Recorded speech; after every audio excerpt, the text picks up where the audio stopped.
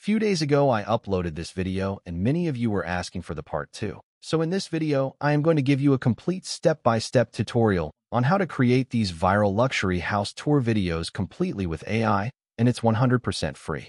Plus, I will also tell you how you can generate videos longer than 8 seconds with 100% consistency. So let's get started. First, head over to this Google Doc. Link for it will be available in description.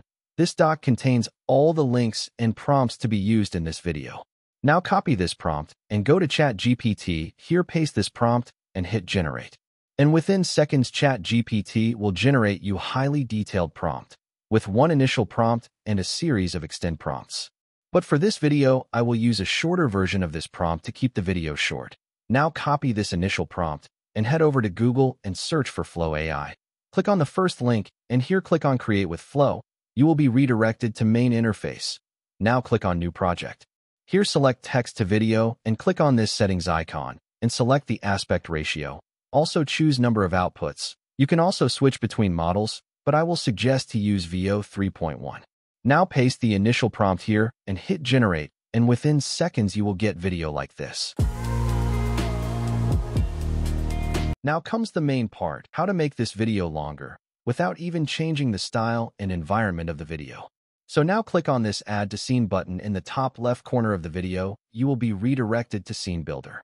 Here click on this plus icon and click on Extend option. Now head back to ChatGPT and copy this first extend prompt and paste it here and hit Generate.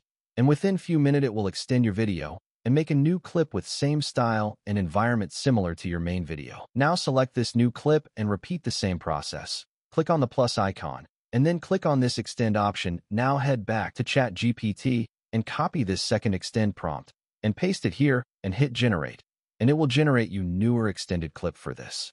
Do it for every part. The main prompt generates about 3 to 5 minutes long video, and once you have completed generating all the clips, download the video by clicking on this icon. Now, import the video in any video editor and mute the sound of this video, and add any copyright-free music to it. You can also add voiceover if you want, and once the editing is complete, you will get video like this.